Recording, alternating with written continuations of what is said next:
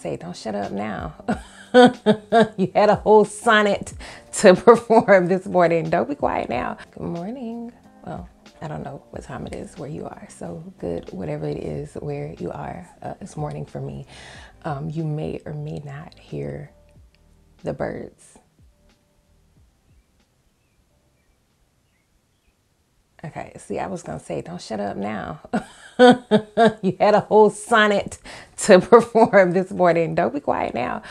Um, but no, here I am. I am Christina C. Jones, author of Black Romance, if you are not familiar.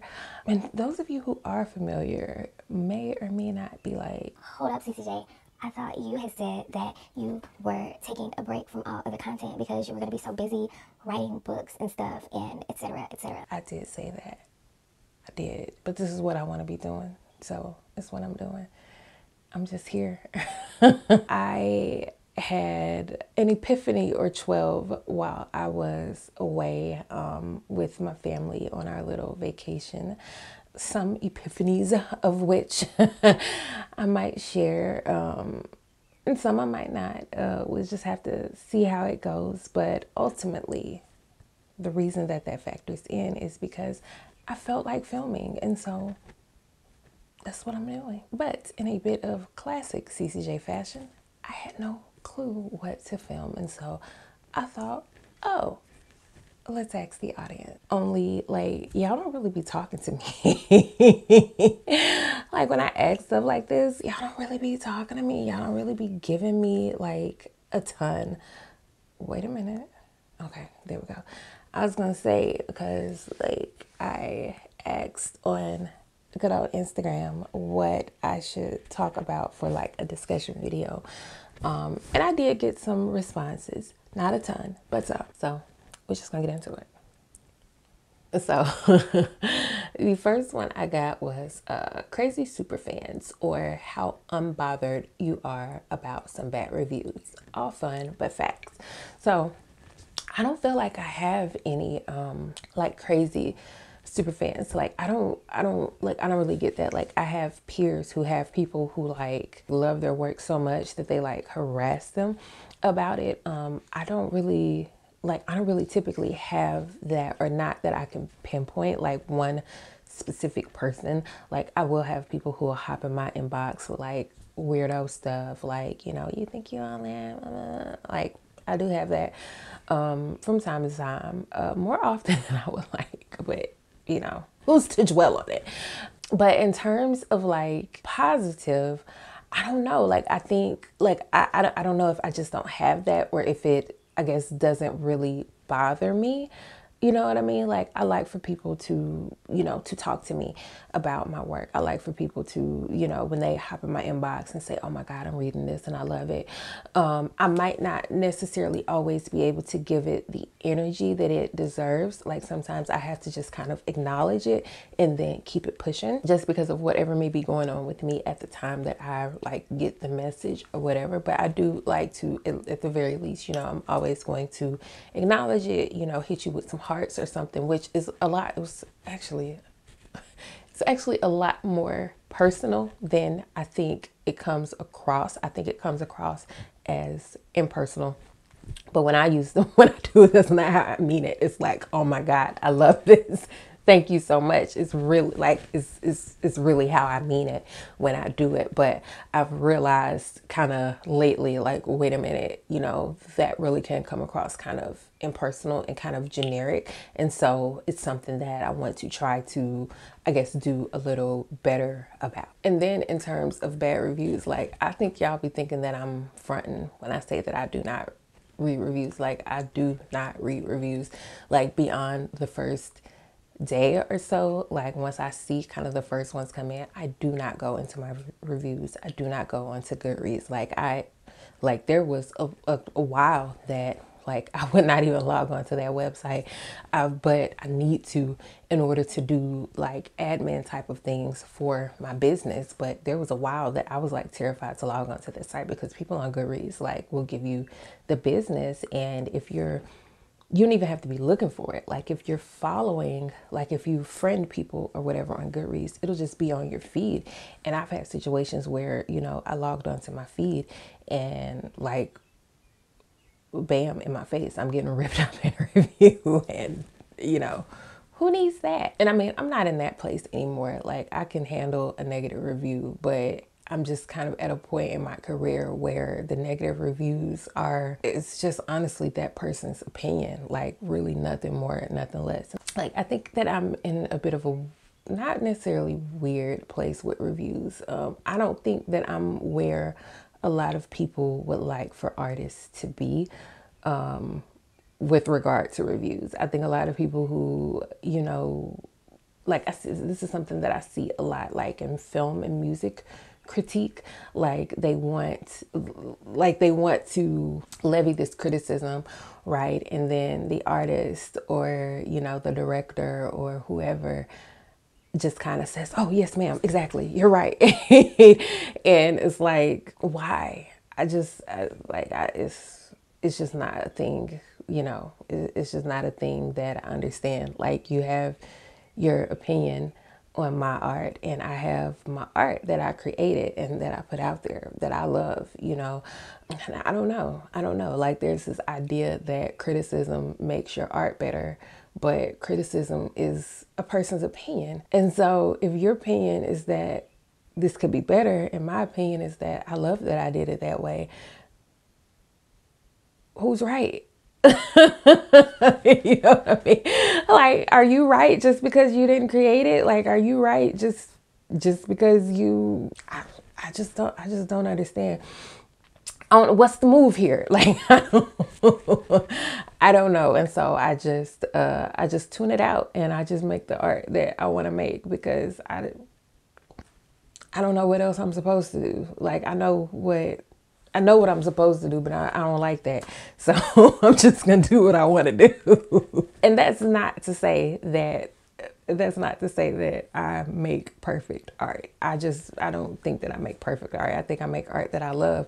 And I think that any changes that are going to happen within my art are going to have to come from within. It's going to have to come from me seeing something that I want to do differently, me seeing something that I want to, you know, develop or change or explore or whatever. It's not going to come because somebody else said, you know, I don't know, what's one of the last reviews I got? One of the last reviews I read was like, there's too much cussing in this. I don't know what to do with that.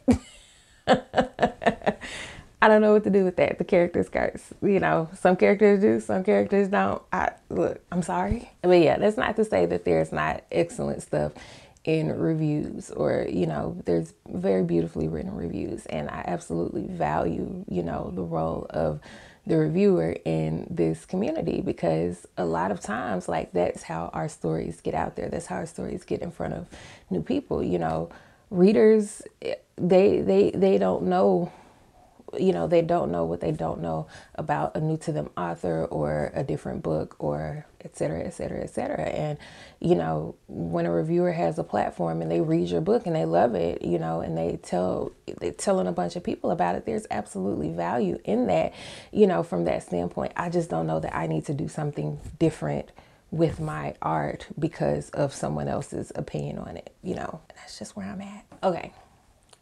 Another one was my research methods. Um, there, there is no method.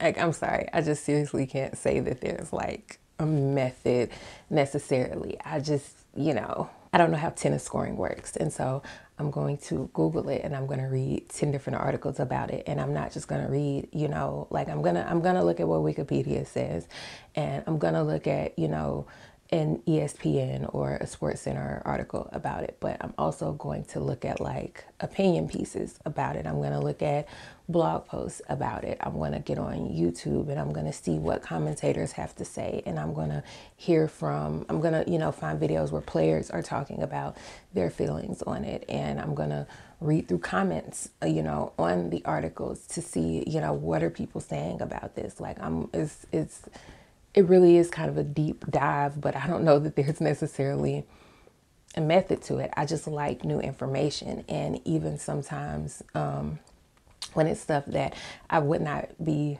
necessarily interested in if it was not for the the, the the book that I was working on, like I'm going to deep dive and I'm going to try to get all the information that I can.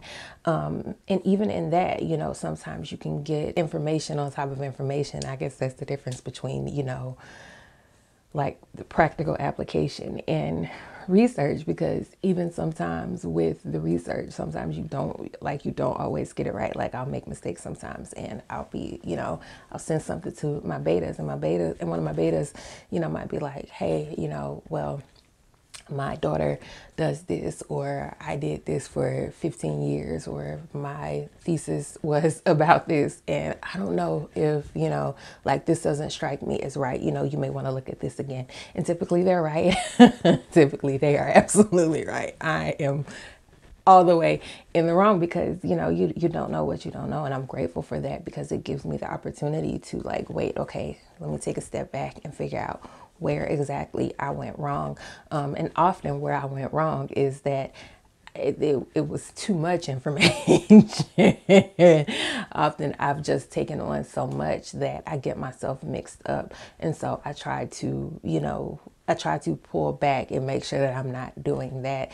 And then often, um, I think that when we get into these research methods and stuff, I think that we get into this place of um, wanting to use everything that we found. And so we end up giving more information than is necessary.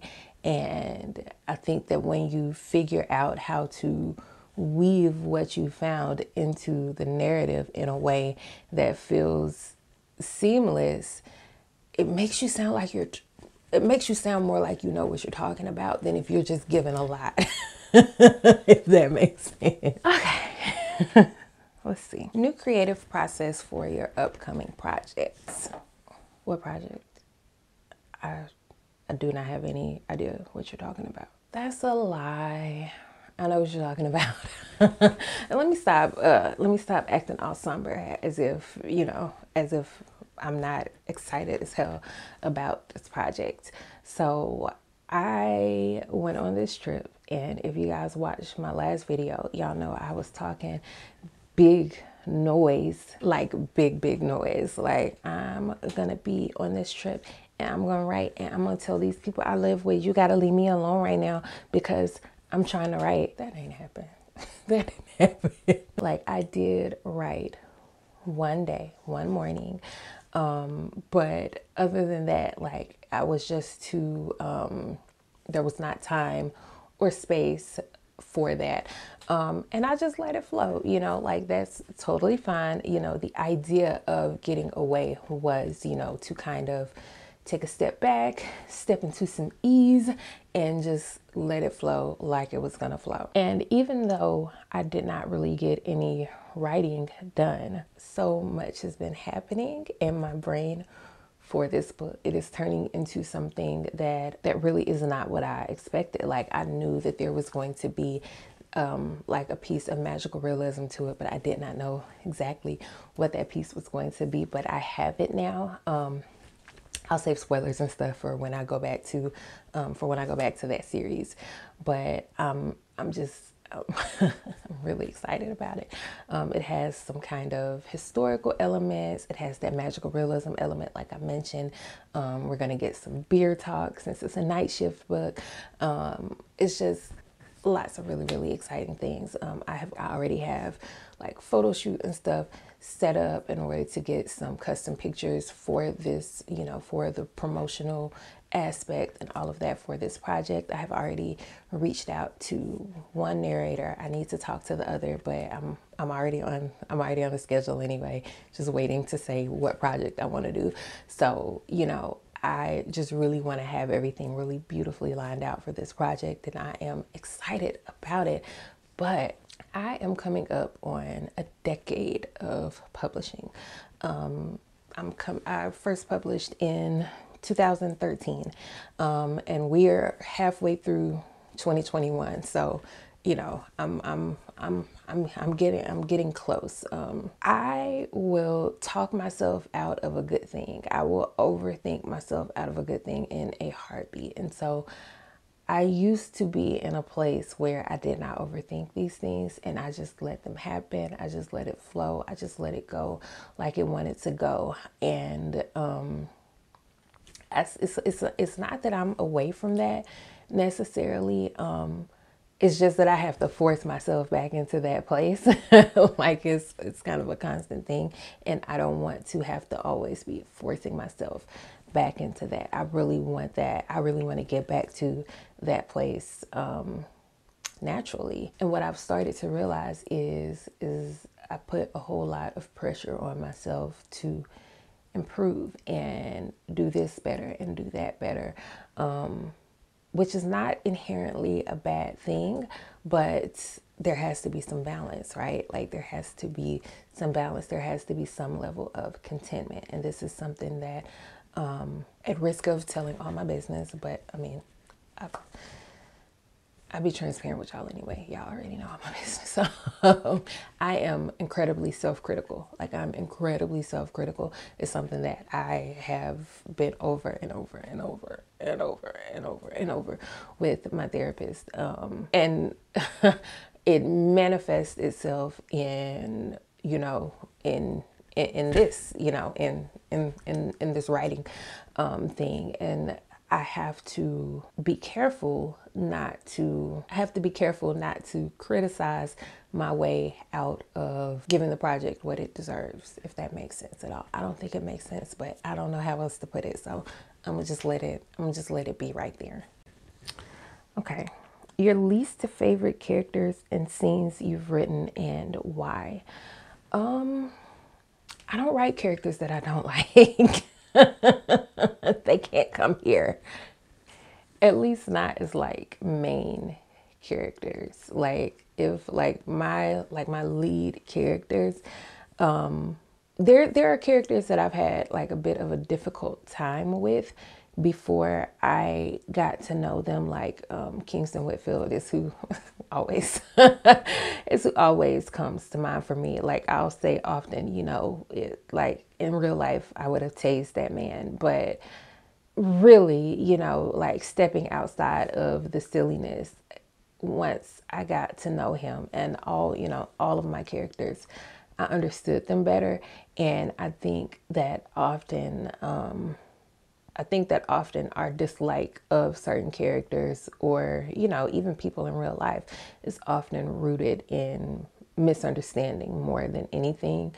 Um, so, yeah, in terms of main characters, I, I, I cannot think of anyone that I just do not like. I, I do remember in the past, like way, way back, I remember talking about a character that I was writing and I did not like her.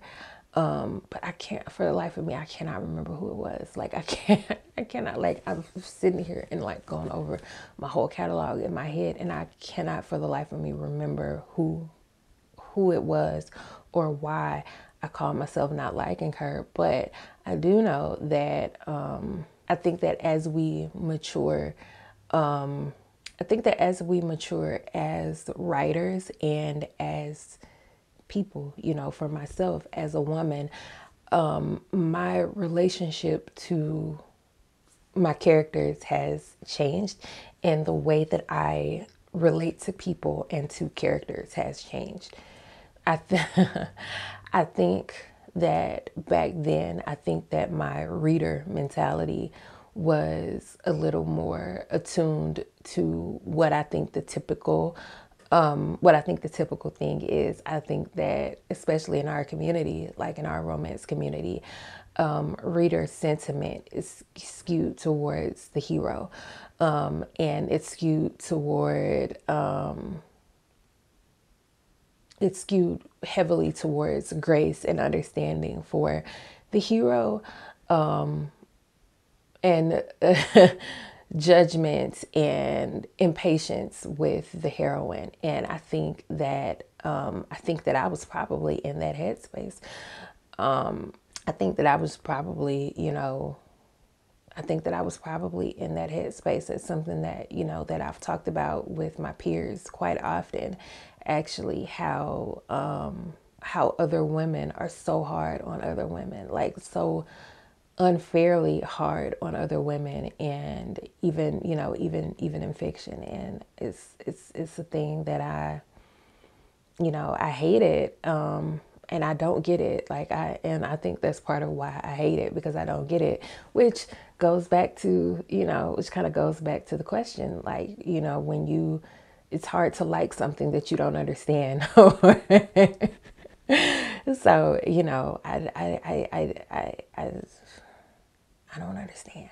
Um, but stepping outside of main characters and leaning, I guess, more into side characters. Um, I don't like abusers. I don't like um, manipulators. I don't like liars.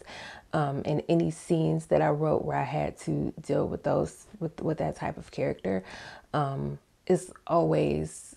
Uh, is, is always difficult. It's always difficult. Um, and most difficult are scenes where my heroines are having to deal with some type of harassment or abuse. Um, I really hate writing scenes like that. I really hate writing scenes like that. Um, and I avoid it as much as I can.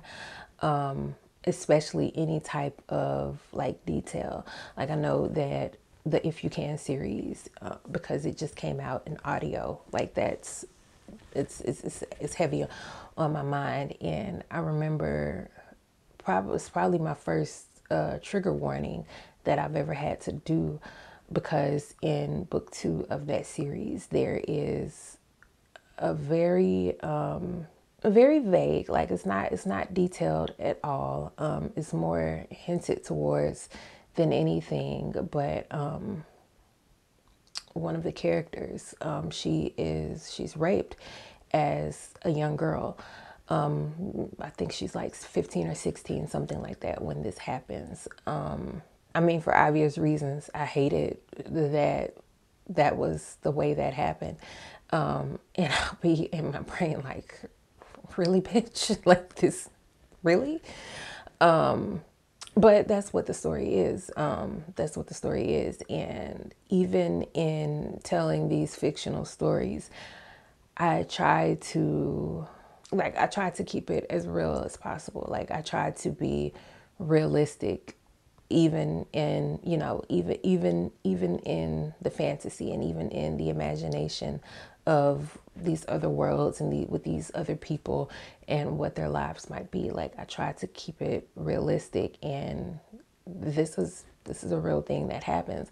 Like I often see uh like critiques and stuff of well why does this happen in books and why does that happen in books because it happens in real life like it happens in real life and while on some while on one hand i understand the lack of desire to read about traumatic things happening to women. Like I definitely get that that you, you know, that you would prefer not to read it, but that doesn't mean that it's not happening. I've had far too many women readers reach out to me after reading one of my books saying that they felt seen for me to be like, well, I'm not going to, you know, I'm not going to do this in books because you know who wants to read about that? People who've been through it want to read about it. People want people who've been through it want to see it treated with nuance and care and that that's the respect that I'm going to give to them. Like I don't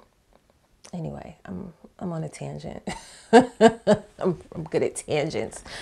Um, but yeah any scenes where I have to deal with with that type of thing. Like again, I try to treat it with care and nuance and not give it not give I think that a lot of times we think that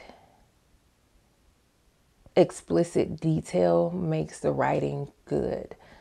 Um, and I don't agree with that. I'm not saying that it makes it bad. I'm just saying that it's not always necessary. And I think that you do have to consider that there might be someone out there who is in exactly the situation that this character is in.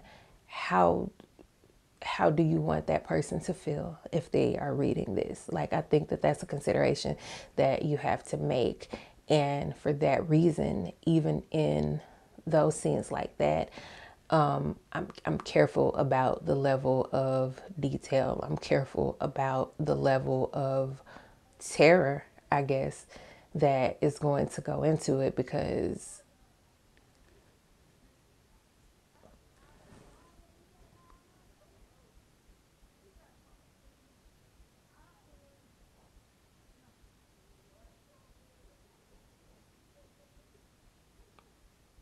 it is way too early in the morning for y'all to be yelling up the street at each other.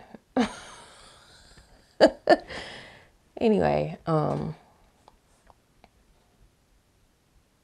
yeah, those scenes. I don't like those. And finally, let me see. Stories that you thought were going one way but took a left turn while you were writing. Um, only every fucking thing I have ever written my life. None of it goes um, the way none of it goes exactly the way that I thought it was going to go um, when I'm writing, including what I'm working on now. Like the way this storyline came about was I was talking to Nicole Falls and she was asking me these questions, like these leading questions of, you know, well, what kind of thing do you want to write? And like, what mood is it going to be? And where do you think something like that would be said? And what kind of people do you think, you know, you want to write about? And I was answering these questions. You know, I want to write something, you know, that's kind of sexy, fun, um, and I want to write people who are, you know, not really looking for love, but also not necessarily heartbroken, um, like in the midst of the story. And I think I want to do something in Blackwood and et cetera, et cetera, et cetera. And she's asking me these questions. And as I'm like kind of mentally diving into these questions, uh, you know, the story is forming in my mind, like details and stuff are forming in my mind. And so, so some of it, you know, like some of it is is still gonna be, you know, what it is. Um, it's still gonna be set in Blackwood, but I don't know about the other stuff. like it, it, it will still be sexy. It will still be sexy. Um, I don't know how fun um, I don't know about fun. Um, and it's it's probably I, I won't say it's definitely not going to be a novella. I don't know. Um, I don't I don't know how long it's going to be, but it's definitely not going to be the length that I was first thinking because I was thinking like a cute little novelette or something, and I don't think this is going to be that. But it's going to be what it's going to be. It's it's it's just going to be what it's going to be. Um, another another notable example um, of this from something that I've already, you know, something that's already out. I keep going back to Ante Up, but that's just what it is. Ante Up. so if you've read Ante Up, you know that Ante Up um, was what I would call my first toes into like what the kids call dark romance. Um, it's not that dark. It's not. It's, it's it's not that dark, but it's definitely like grittier um, and darker in tone than you know than anything that I had done thus far, and yeah, like it is very much alpha male, very serious, lots of angst and tension and danger and etc etc etc right?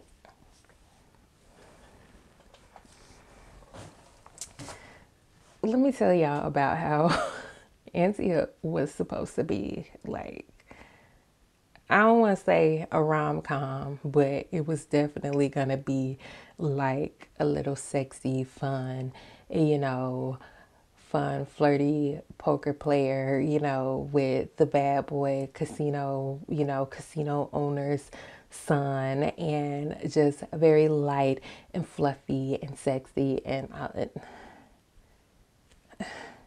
None of that happened. None of that happened.